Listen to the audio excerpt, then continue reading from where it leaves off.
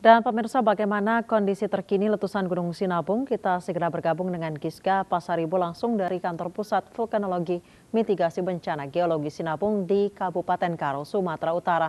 Giska, bagaimana kondisi pasca erupsi terakhir Gunung Sinabung? Ya Nisa dan pemirsa sepanjang hari ini hujan terus mengguyur Kabupaten Karo di mana hal ini dapat mengurangi tebalnya debu vulkanik yang sudah beberapa bulan ini melanda wilayah Kabupaten Karo. Namun Anissa, angin yang kencang dan juga cuaca yang berkabut yang ada di wilayah ini memang sangat mengganggu jarak pandang bagi para pengendara yang melintas di wilayah ini. Tapi di sisi lain, uh, turunnya hujan ini memang menjadi kabar gembira bagi sebagian besar petani yang ada di wilayah Kabupaten Karo ini karena memang terlihat bahwa keseluruhan lahan pertanian yang ada di wilayah ini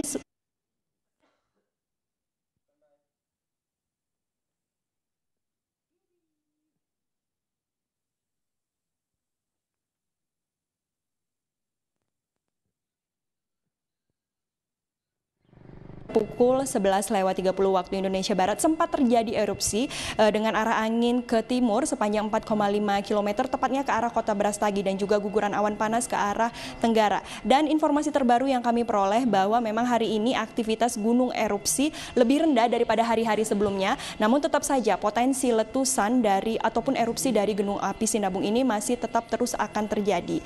Dan pemirsa kita tidak akan tahu sampai kapan erupsi gunung api Sinabung ini sampai sampai kapan akan berakhir.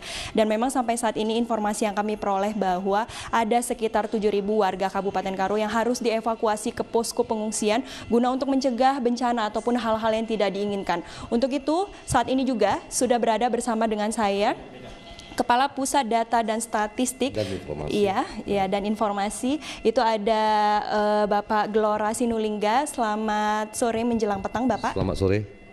Baik Pak, Pak apa saja nih Pak pengarahan ataupun penyuluhan yang diberikan kepada saudara-saudara kita yang merupakan korban dari erupsi Gunung Api Sinabung ini? Silakan dijelaskan Pak. Baik, uh, uh, melihat perkembangan Sinabung dalam dua hari terakhir, uh, hal yang paling utama adalah kita menghimbau masyarakat agar tidak mendekati zona merah. Uh, ada kebiasaan memang di tengah-tengah masyarakat kita di sini bahwa ketika siang hari mereka itu uh, uh, apa namanya berladang sehingga eh, kadang-kadang eh, masuk ke dalam wilayah zona merah itu. Nah dengan kondisi Gunung Sinabung yang dalam dua hari tidak menentu, maka kami sangat mengharapkan dan menghimbau agar uh, seluruh wilayah zona merah itu tidak dimasuki.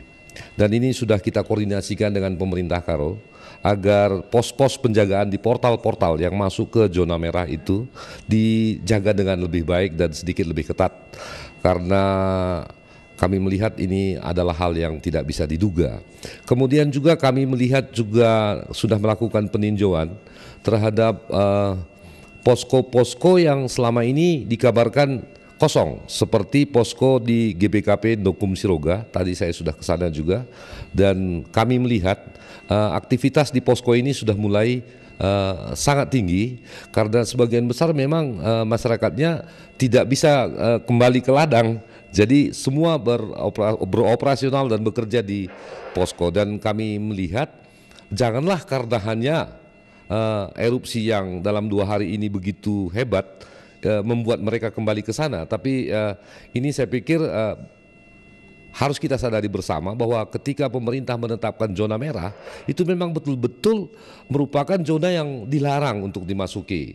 Oleh karena itu dengan kondisi yang sekarang dan lamanya erupsi ini sudah berlangsung, kita harap kesadaran masyarakat di wilayah khususnya di wilayah sekitar Gunung Sinabung ini sudah semakin tinggi dan semakin sadar bahwa zona ini begitu berbahaya. Saya kira itu yang bisa kami sampaikan. Baik Pak Sinulingga, tapi uh, saya mendengar ya Pak ya mendengar keterangan dari beberapa korban yang berada di posko pengungsian bahwa sebagian dari mereka itu tetap kembali ke pemukiman mereka yang sudah terkena dampak dari erupsi Gunung Api Sinabung. Bagaimana Bapak sebagai pihak BPBD Profsu menanggapi hal hal ini? Baik, uh, kondisi mereka memang karena sudah begitu lamanya mengungsi.